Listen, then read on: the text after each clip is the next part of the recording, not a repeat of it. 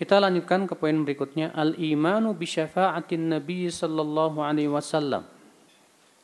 Wa syafa'atil anbiya'i wal malaikati was salihin wa ghairihim yaumal qiyamah.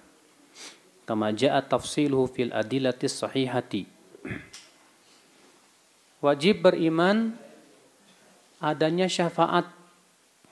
Adanya apa? Syafaat. Ya.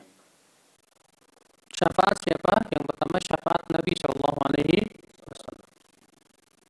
Yang kedua syafaat para nabi, syafaat malaikat, dan syafaat orang-orang soleh.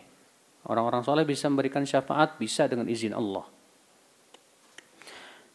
Sebelumnya kita ingin membahas apa itu syafaat, Pak. Syafaat itu artinya pemberian rekomendasi agar seseorang itu ditolong, dibantu. Ya, kalau misalnya antum punya teman lagi cari kerja, kebetulan antum punya apa namanya relasi ya, teman antum misalnya direktur direktur personalia di sebuah perusahaan, kemudian antum telepon, Pak, ini teman kita nih lagi cari kerja, bisa nggak antum uji dia barangkali bisa kerja tempat Bapak. Ini namanya memberikan apa? Syafaat. Iya. Itu namanya memberikan syafaat. Maka ya di dunia itu memberikan syafaat seseorang untuk orang lain gitu loh. Adapun di hari kiamat memberikan syaaf, syafaat itu mem, ya memohon kepada Allah supaya si fulan orang yang dia berikan syafaat itu ditolong oleh Allah Subhanahu wa taala. Dan tidak mungkin Pak, syafaat itu kecuali dengan dua syarat. Ya. Yang pertama, ridho Allah kepada orang yang memberi syafaat dan yang diberi syafaat. Dan yang kedua, izin Allah kepada orang yang memberikan syafaat. Dalilnya surat An-Najm dalam surat An-Najm Allah Ta'ala berfirman, "Wa min malakin fis samawati la tughni syafa'atuhum syai'a illa min ba'di ay ya'dhana Allahu liman yasha'u wa yarda." Berapa banyak malaikat yang ada di langit kata Allah tidak bermanfaat sama sekali syafaat mereka kecuali setelah Allah berikan izin dan ridha. Berarti ini menunjukkan bahwa syarat untuk mendapatkan syafaat dua. Yang pertama, izin Allah kepada pemberi syafaat. Yang kedua, ridho Allah kepada pemberi syafaat dan yang diberikan syafaat. Kalau ternyata Allah tidak ridho kepada yang diberikan syafaat, tetap tidak ada, tidak bisa. Iya. Siapa pemilik syafaat? Allah. Allah berfirman, ya, dalam surat uh, Az-Zumar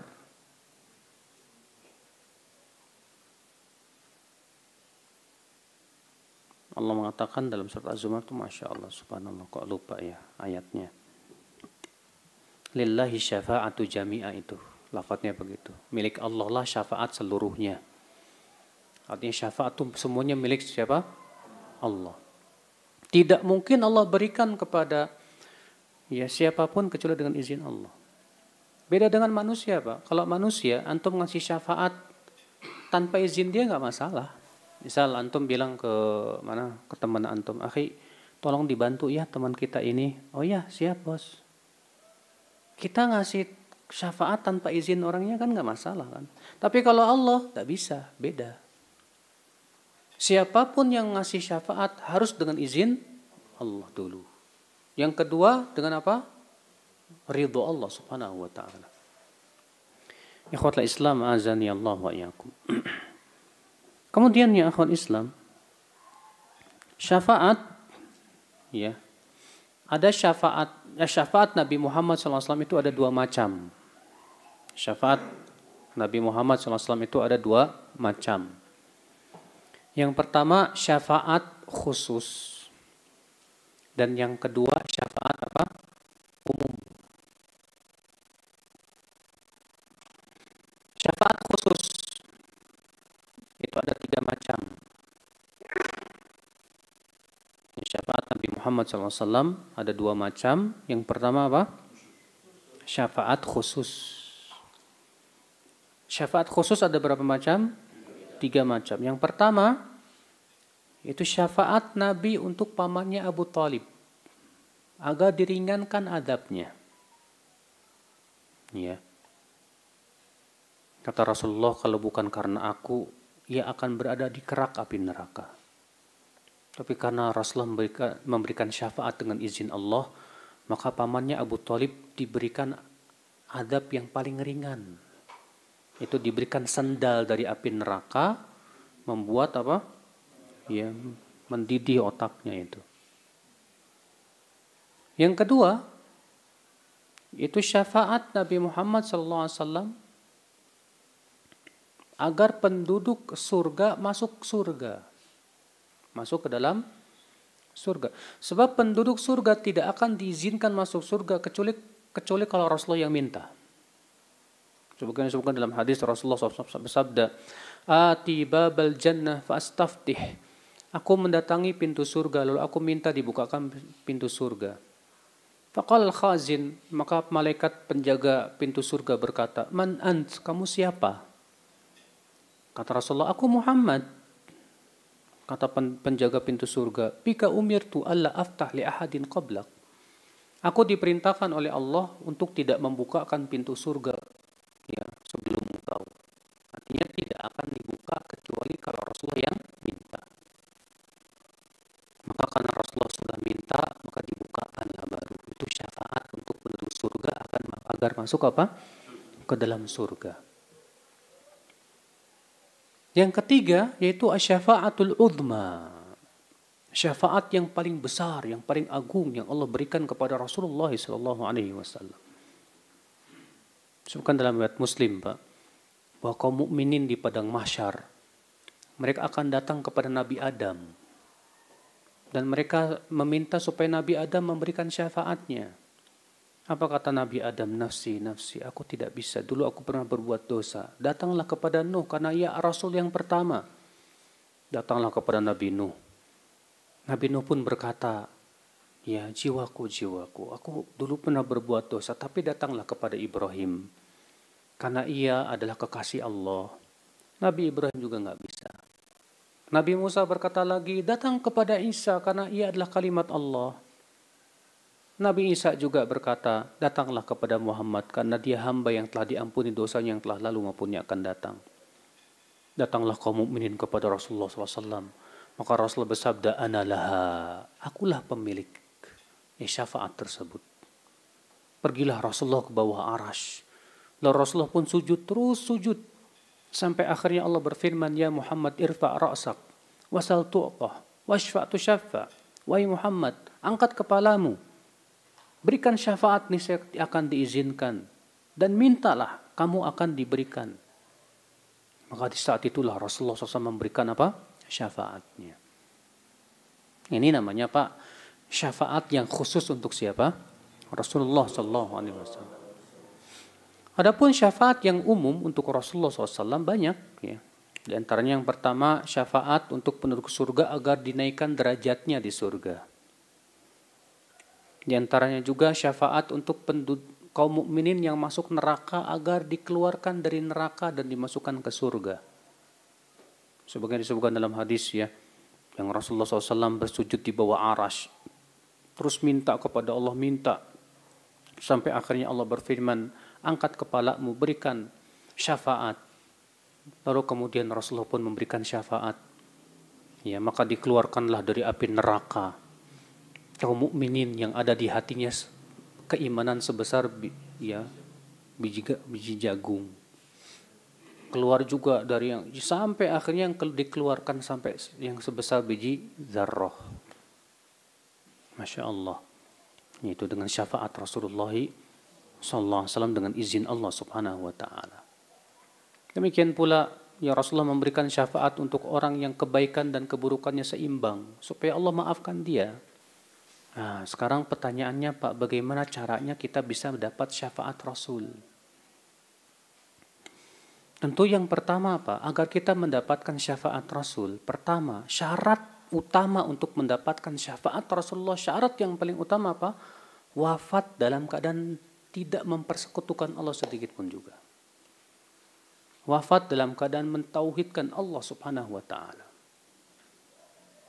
Ya, sebutkan dalam hadis Nabi Shallallahu alaihi wasallam beliau bersabda, "Ukhtirtu baina an yudkhal nisfu ummatil jannah wa baina syafa'ah." Aku diberikan oleh Allah pilihan dua. Antara separuh umatku masuk surga atau aku diberikan syafaat. Hadisnya Rasulullah diberikan dua pilihan oleh Allah Subhanahu wa taala. Pilih yang mana? Separuh umatmu masuk surga atau engkau diberikan syafaat. Kata Rasulullah apa? Fakhtartu syafa'ah. Maka aku lebih memilih syafaat. Kenapa Rasulullah memilih syafaat? Karena akan lebih banyak lagi umat Islam yang masuk surga. Kata Rasulullah apa? Wahya liman mata la yushrik billahi syai'a. Dan syafaatku itu hanya untuk orang yang wafat dalam keadaan tidak mempersekutukan Allah sedikit pun juga. Berarti ini syaratnya satu nih Pak. Kalau kita ingin mendapatkan syafaat Rasul, wajib belajar tentang syirik. Untuk dijauhi. Terutama syirik besar. Ya. Bagaimana kita akan selamat dari syirik kalau kita tidak belajar tentang kesyirikan? Berapa banyak kesyirikan di negeri kita yang masya Allah luar biasa sekali. Ya. Maka dari itu ya akan Islam bila kita ingin mendapatkan syafaat Rasul ini tauhidkan Allah jauhkan apa kesyirikan. Ini syarat utama untuk mendapatkan syafaat Rasulullah SAW. Yang kedua wafat di kota Madinah.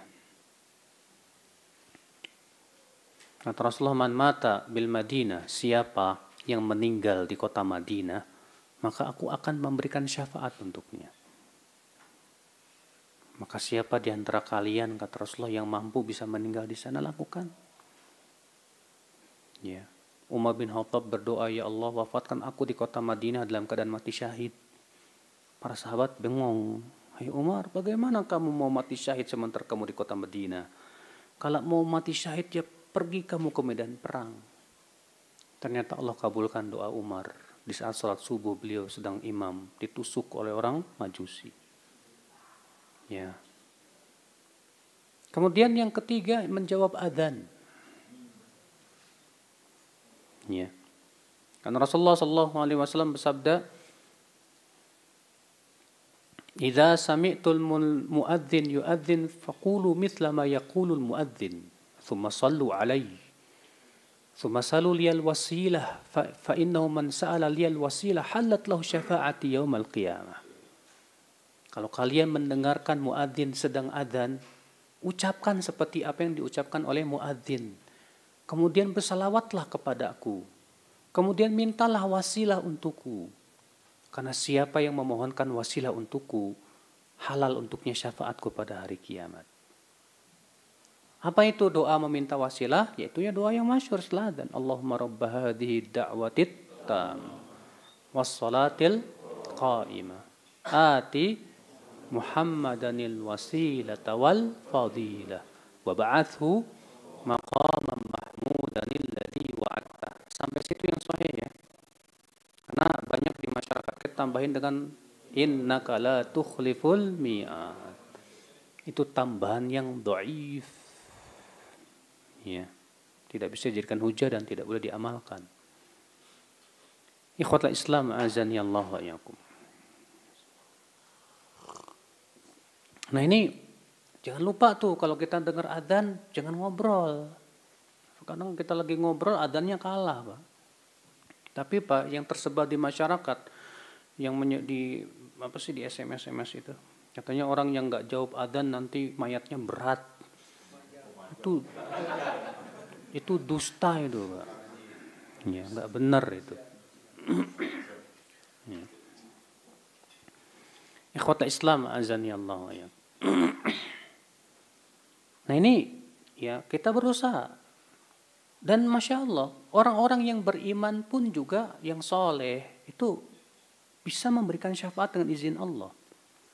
Sebagaimana dalam riwayat Bukhari dalam sahihnya Pak bahwa ketika kaum mukmin telah melewati jembatan Sirat, mereka kembali kepada Allah dan berkata, "Ya Rabb ikhwanuna alladzina kanu yusalluna ma'ana Wa yasumuna ma'ana. Ya Allah, teman-teman kami, saudara-saudara kami yang dahulu mereka sholat bersama kami, berpuasa bersama kami, kenapa engkau masukkan ke neraka ya Allah? Dan terus mereka minta kepada Allah supaya teman-temannya, saudara-saudaranya dikeluarkan. Sampai akhirnya Allah berfirman, idhab ilan nar, silakan kamu pergi ke neraka. Wa akhrij, ya, dan keluarkan orang yang kamu kenal yang mengucapkan la ilaha illallah. Keluarkan mereka dari neraka. Makanya Al Hasan Al Basri berkata, perbanyaklah teman-teman yang soleh. Perbanyak teman-teman yang soleh. Mungkin dengan teman-teman yang soleh kita alhamdulillah diberikan syafaat dengan izin Allah Subhanahu Wa Taala, dibantu oleh mereka. Iya. Nah ini ikhwatul Islam azani Allah wa yakum. Ya, jadi ini adalah syafaat Rasulullah sallallahu alaihi wasallam.